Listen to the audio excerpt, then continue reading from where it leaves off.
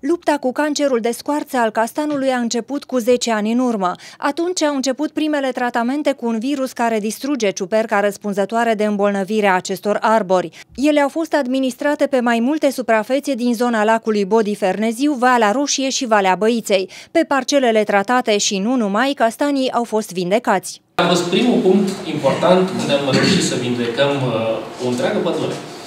După aceea, la toți măgheruși, am mai pus un alt, deci le-am pus la distanță. Zonele în care am tratat definitiv. În rest, am împrăștiat cât am putut virus.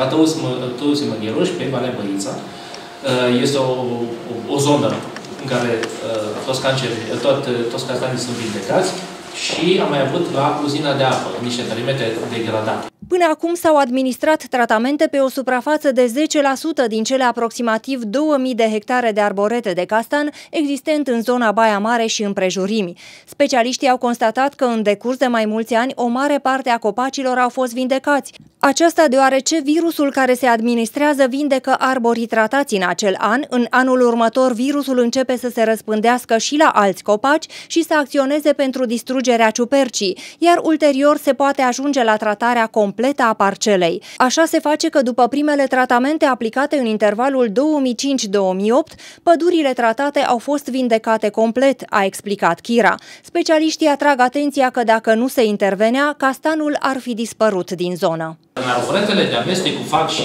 carpen, castanul dispărut se de tot. De ce? În, în natură, în, ele ce ajung de acolo. Cine e bolnav să fie sănătos, dispare. Și dacă nu făceam noi lucrurile acestea. Asta nu dispărea. Domnul doctor Boalea Săracul, plin de, de energie și cu suflet mai mult, să uita și ce nu contează, că nu are șapte vieți, va, va rezista. Nu rezistă. Dacă nu-l ajută nimeni.